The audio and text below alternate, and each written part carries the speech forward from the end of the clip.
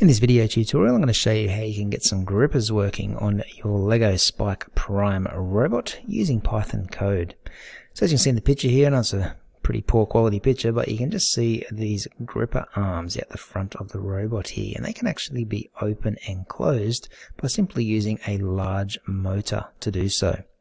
And that's what we're going to be doing in today's video tutorial. So let's get started now by jumping over to the LEGO Education Spike app. And we're going to make ourselves a new project today. We'll just call this project Gripper. We're going to be using Python code and we're going to click on create.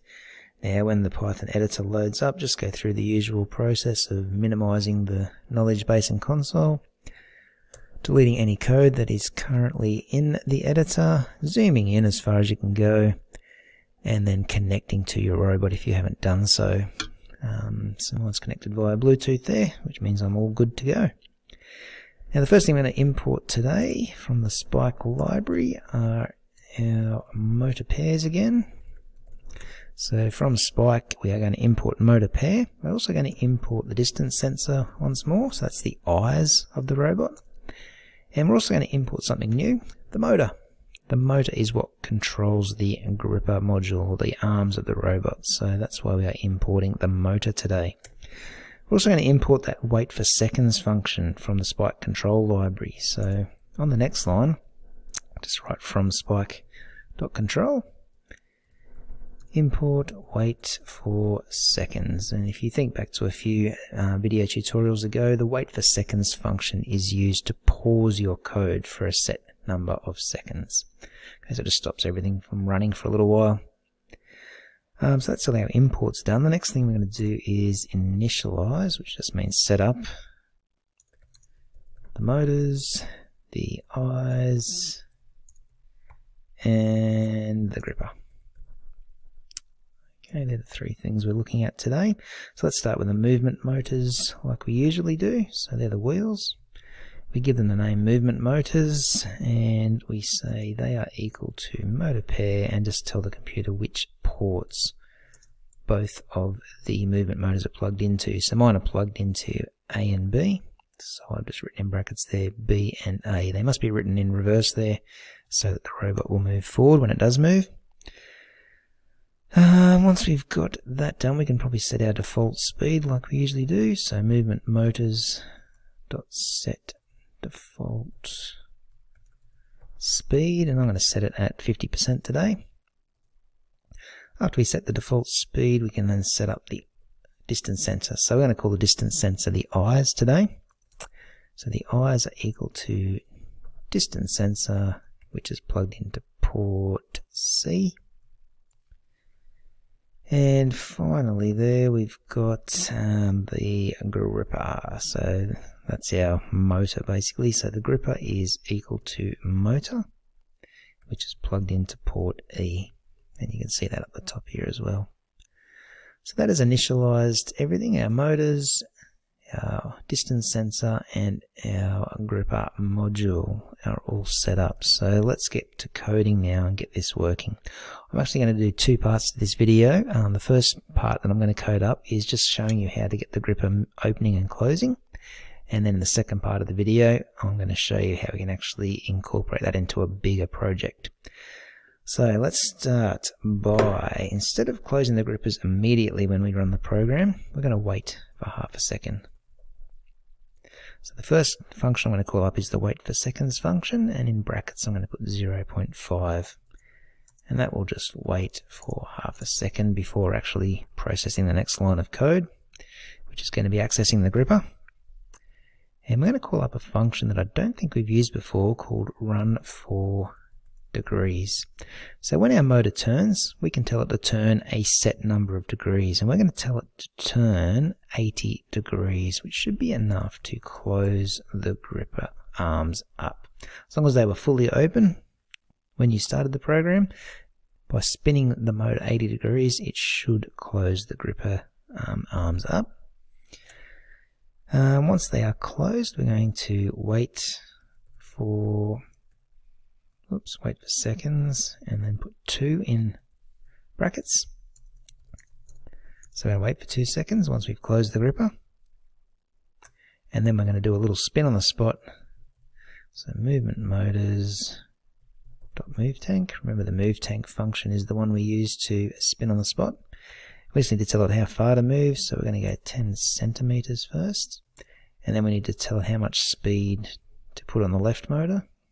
So I'm going to put 100% speed on the left motor, and then for the right motor, I'm going to put minus 100 speed, so that'll just have me spinning on the spot. He'll just turn 10 centimeters, so he's just going to turn a little bit to face a new direction. And when he's facing in that new direction, we're just going to do gripper dot run for degrees again.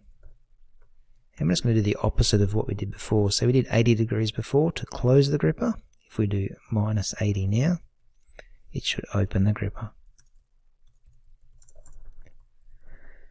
Um, that's the first section of code done. So it is time to test it. So give it a run and just see what happens.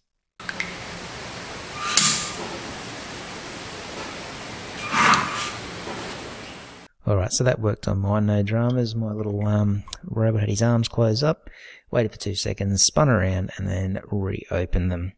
So that looks good. But what I want to do now is take that a little bit further. Okay, what I'm going to get my robot to do is actually start by spinning around in a circle on the spot. And when it senses an object in its path, it's going to drive over to it, close the grippers up on that object, and then spin around and remove that object from the current area. Okay, so it's basically like cleaning up its area. So what we're going to do is actually delete that little bit of code we just put in at the bottom here. We're going to keep the imports. We're going to keep the bit where we initialize everything. It's just this bottom section I want to delete. We're going to start from scratch again. Okay. So what we're going to do here first of all is get our robot spinning around in a circle very slowly. So movement motors dot start tank. Now we haven't used this function before, start tank. Uh, what he's going to do, is he's going to spin slowly, and I'm going to put in the brackets there 10% for the left motor, minus 10% for the right motor. Okay, so that's the short way to get the wheels spinning at different speeds and it's going to go pretty slow. If he spins around too fast, for example at 100%, then he's not going to have time to sense an object in front of him. But if our robot's spinning nice and slow, his eyes will actually have time to spot an object in front of it. And that's exactly what we're looking for in this task. So when the robot spots something in front of it, what we're going to do is, well, we actually have to sense something first. So let's activate our eyes. And we're going to use the function called wait for distance closer than. It's a big function. Basically, this wait for distance closer than, we want to be able to look for something that is closer than, say, 30 centimeters. Okay, so when the robot senses something within 30 centimeters, what do we want it to do? Well, we're going to turn the motors on and drive over to it. So movement motors dot start. And that'll just fire him up and get him driving straight at that object. We should probably put in some comments here to explain what's happening. So the first line is just getting the robot to spin slowly in a circle on the spot. The second one is when the robot senses something 30 centimeters away, then we conduct the next line of code, which is driving forward. Okay, so at the moment he's driving forward forever. That's what that start function does. It just gets the robot moving straight ahead and doesn't stop. So we're going to have to tell him to stop when he gets a certain distance from whatever the object is in front of him. So we're going to do another one of the eyes dot wait for distance closer than. Okay, we're going to get the robot to stop about 5 centimeters away from whatever the object is in front of it. Okay, so I'll put a comment in there that just says when the robot senses something 5 centimeters away. So when there's something 5 centimeters away from it, that's when we are going to get the robot to stop. So we'll just tell the movement motors to stop. That gets your robot to stop moving completely, turns off all the motors. Um, after that, we're going to close our gripper and grab that object. Okay, so we need to do gripper dot run degrees, and we know that about 80 degrees is what we need to close the gripper. And then we're going to wait for second, whoops, wait for seconds, and we're going to just wait for one second. So once we've closed our gripper, we're just going to wait for one second. And once we've waited one second, then we're just going to turn on the spot to face a new direction like we did before. So movement motors dot move tank. And it's going to be pretty much the same as before. So 10 centimeters. We're just going to move a bit slower though. Um, the reason we're moving a bit slower is because these arms that we've got created here aren't overly strong and if we move too quick it's probably just going to drop the object. But if we go a bit slower then it has a better chance of hanging on to that object. So I'm just going to give each of the motors a 20% speed on the left motor and then minus 20% speed on the right motor. And that should have it spinning fairly slowly and hopefully it won't drop the object that it's holding.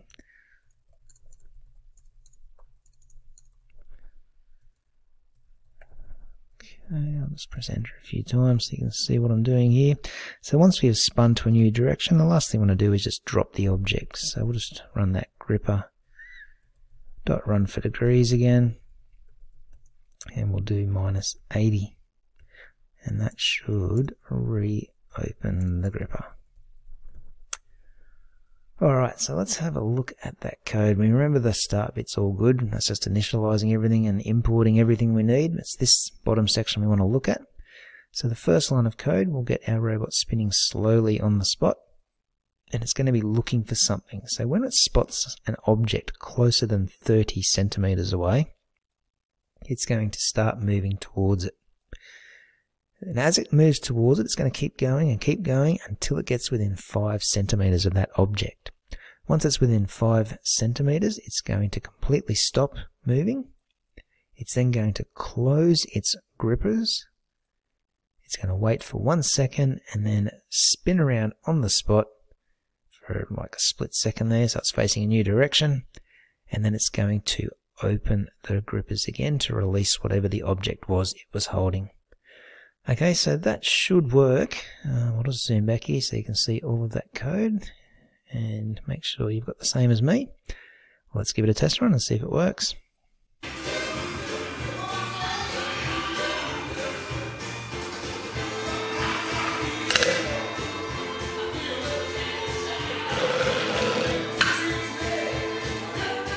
Alright, so that worked pretty well for me, so hopefully it did the same for you. That's all I'm going to show you in this video. Um, that's how you can use the large motor to, to control something such as grippers. Uh, but it can control many other contraptions as well, just depends what creativity you come up with and what you end up making. Alright, so I'll catch you in another video.